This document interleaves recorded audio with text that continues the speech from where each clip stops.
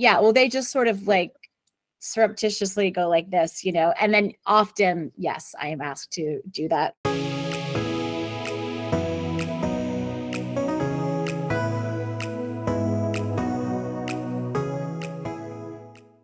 Hi, everybody. I'm Elisa Donovan, actress and author. And today we are looking through some of my old Instagram posts.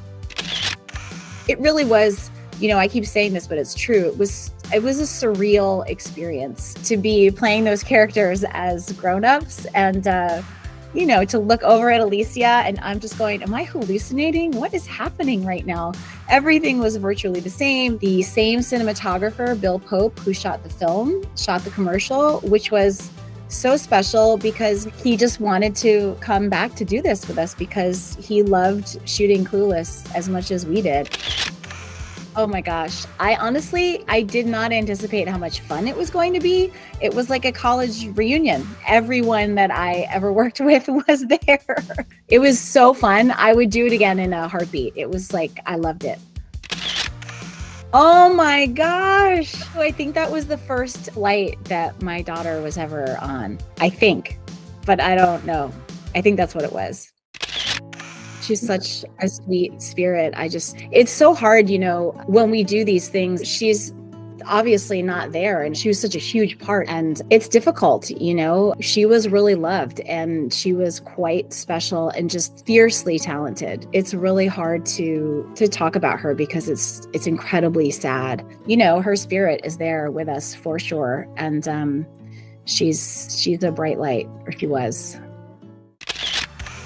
Yes, this was amazing. So I think I was doing Sabrina and I had done this show called Switched, where they had done a series of, of uh, a couple seasons of this show where they would put teenagers from different socioeconomic or different racial backgrounds and they would switch lives with another family. I switched lives with this wonderful woman called Maddie Carmichael. It was crazy and it was so fun. And Oprah had both of us on the show talk about our experience and how life changing it was. It was incredibly fun. And of course, meeting Oprah, I was like, she's truly, when you walk into that, that studio, I went, this is, this is heavy. Like I have never, people absolutely go crazy for her. Like she's, she's like the queen.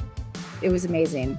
Yeah, you know, it's changed over the years. I have such a kind of uh, love hate relationship with it because I, I do see um, an incredible amount of damage that social media does. And then there is just a wealth of good you know, it's certainly a business tool for me, but it's also a way for people to really understand more of who I am. I also try to really put in things that are dear to my heart. And I just always make a, an absolutely fierce commitment to putting light and, and love and positive things out there.